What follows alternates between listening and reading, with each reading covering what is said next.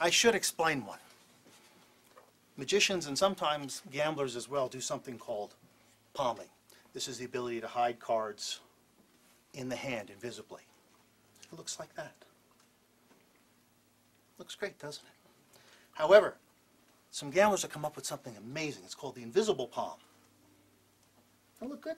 Yeah. Can't even see it. You can't see it until I bring it down here. Oh, that should be the ace of clubs. There it is, ace of clubs. That leaves me over here with the hearts and diamonds. Spades and clubs. Okay? I have two cards here. I have the diamonds and I have the hearts. Watch the heart. Invisible. Can't see it. Till I drop it. There it is. Ace of hearts.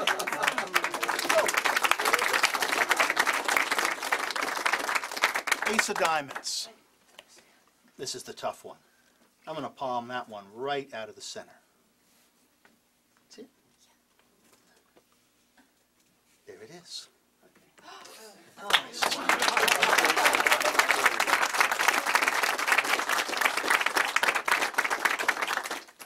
A very simple trick. One of the first tricks I ever learned. I was very, very lucky growing up that I got to meet some of the just great magicians. Um, and there was a man in New York named Derek Dingle. And Derek taught me this trick, and I've been doing it for about 30 years ever since. It uses, it's very simple because it only uses five cards. The ace of hearts, the two of hearts, the three, the four, and the five. Okay? And here's how the trick works. The ace of hearts will be put down, click the fingers, jumps up to the top. Simple. Do it again. Look. There it is. Goes down, click my fingers, jumps up to the top. That's the ace. Next one is the two. The fun part about the trick is I repeat this so you get to try to catch me. There's the two. Place it down inside, give it a little spin, the two's on the top. I'll do it in slow motion. There's the two. Now the three. The three is jump to the bottom. There's the three. If I just turn the cards over, click my fingers, now the three has reversed itself in the center. Turn them over again. The three back on the bottom. Watch the three. How is the three? Come on. Face down, right? Right. How's it now? It's still face down. Now how's it now? No, now it's face up. Okay. Two cards left. Four and the five. The four will go down on the bottom. Only two. Jumps to the top. That's the four. Leaves me with one card. That's the only problem with this trick, is that you have one card left. Kenna, would you just rub that card? We're going to try to do some magic with it.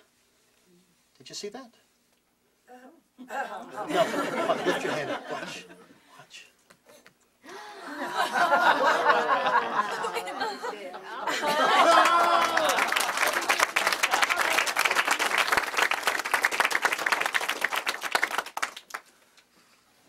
Simple little trick.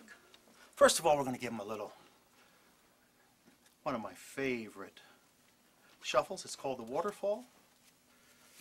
Like that. Oh, here we go. There we go. Give him another little cut like that. Oh! Hey, would you pull one out let everybody see it? Okay? Hey, everybody get to see the card? Fantastic. Card somewhere in the deck. I need a little helper for this. I reach down in my pockets. Well, he's not there. He's not there. Okay, I need a little magic then. There it is. My little helper. An old silver dollar. Educated silver dollar. Put him here, he jumps over to there. Do that again. Put him there and he comes back up here. Last time, he's going to help me find the card. That's his job. Go like that. Oh. There he is. Oh. What was the card you saw? Three of diamonds. Oh,